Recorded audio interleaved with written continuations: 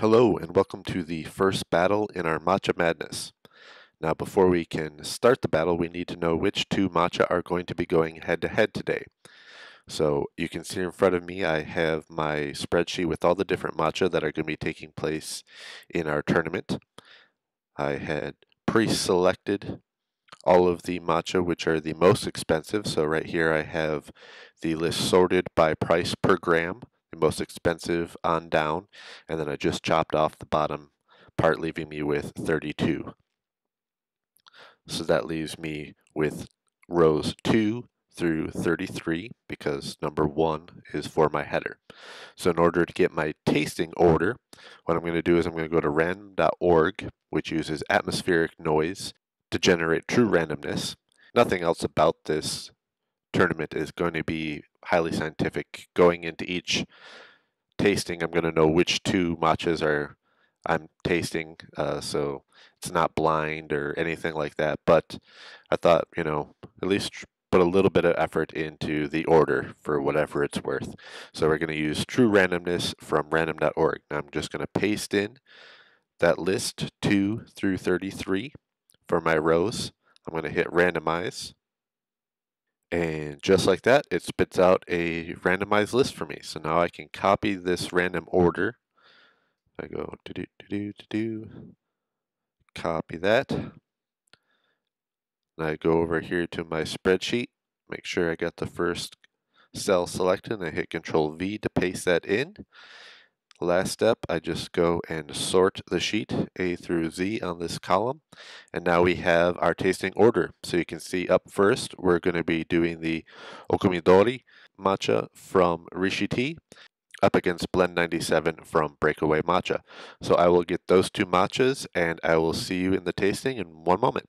And we're back. I have got the two different matcha for our first head-to-head -head in the first round of Matcha Madness. We just saw how the order has been determined for the different tastings. So for this first tasting, I also wanted to go over how the actual preparation and tasting itself will go. In my other tea tasting videos, which will be coming shortly, you'll see that I always try and use the manufacturer's recommended brewing method. In this case, I will ignore any of the brewing instructions that a particular matcha may come with and they will all be made using the breakaway matcha technique. This way I can kind of keep it as close to the same between one matcha to the next. So as a refresher that means one gram of matcha sieved into the tumbler then we will take about 30 milliliters give or take of 70 degree Celsius water. Use our frother get it all nice and uh, mixed up and then we'll add another 30 milliliters for a total of 60 milliliters and that is the general preparation I will be using for every matcha so I'll be using that breakaway matcha technique. I also wanted to mention that the way I am filming this I will I'll be doing three tournaments basically back to back so I will do one from the current round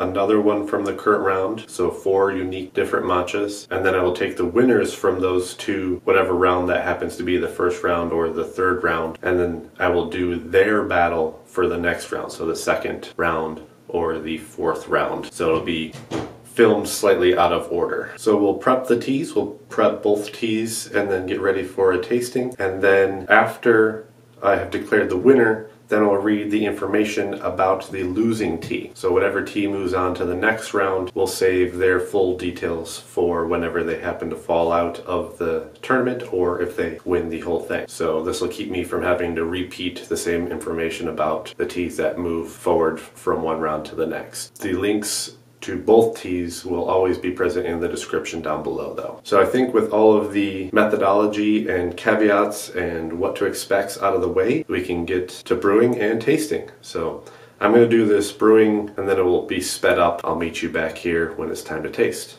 All right.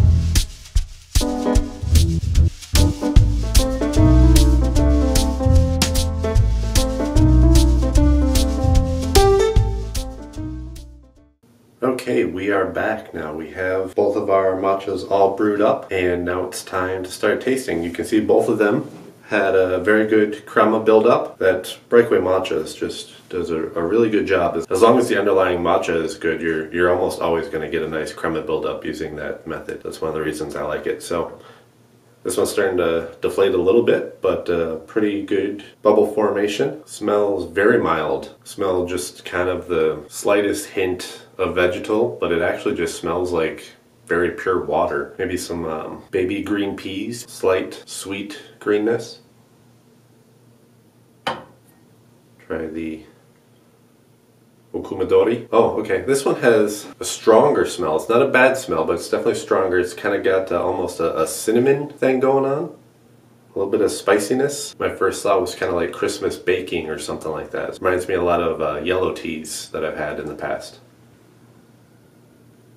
Alright, so that's the quick sniff test, and now let's give it a taste test. Yep, very vibrant green, not like stewed um, spinach, that's a very common one. I don't, it's not quite spinachy, it's a little bit more towards that kind of the sweet side, the more peas. Uh, I try to think of another good green, sweet green vegetable, but uh, my mind's drawn a, a, blank right now. But uh, green peas, I, I was a good taste.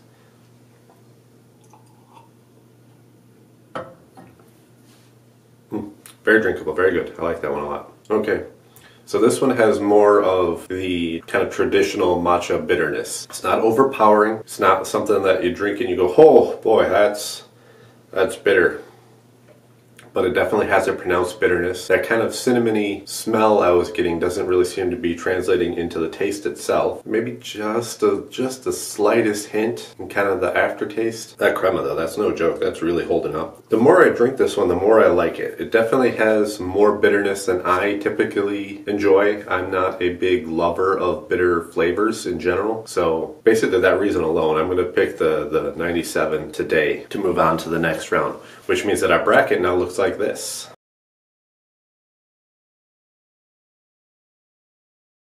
Alright, Breakaway Matcha Blend 97 will be moving into round 2. That means that the Matcha Okumidori from Rishi Tea is getting eliminated. As per the outline at the beginning of the video, let's uh, discuss what we can about this matcha. So this matcha, the Matcha Okumidori from Rishi Tea, comes in a 30 gram container. It's a very nice container. Uh, good solid uh, black, light blocking black glass, very sturdy, uh, has a good seal on the top, good screw on, and this is again 30 gram worth of matcha. You're getting that for $35. This is a US based company out of Minneapolis, if my memory serves. So that is 35 US dollars, uh, giving you a price per gram of about $1.17. This was picked between May and June of 2018 and milled on September 18th, 2018. Very specific on the season for this one. The cultivar, uh, this is a single cultivar, so it's the Okumidori, lot of matchas are blended. There's nothing bad about a blended matcha. The tea master will often try and find certain elements from one type of cultivar and marry that with another cultivar to create a harmonious blend. And as you just saw, our blend 97, which is obviously a blend, has moved on to round two. So just because it's a single cultivar doesn't necessarily make it any better or worse, but this is a single cultivar, single estate matcha. All the information about the different matcha is going to come directly from the website. So whatever it says on the website, that's all the information I can give you. I'm not doing any more digging, just whatever they want to pre present to the buying public, that's what I'm going to pass on here. So for the description, uh, Rishi Tea has listed the single cultivar matcha highlights the resonant umami that makes a Okumidori cultivar so prized for sencha, gyokuro, and matcha green teas. And then also as a, uh, a secondary tasting note that says this matcha has the most elegant, savory, sweet flavor and creamy mouthfeel. And uh, yeah, I would agree with all of those. Uh, it's it's definitely got both of that savory and sweet thing going on. And as I commented multiple times, that crema just super super creamy. All right, but unfortunately, not making it into round two. So I'll see you for our next battle.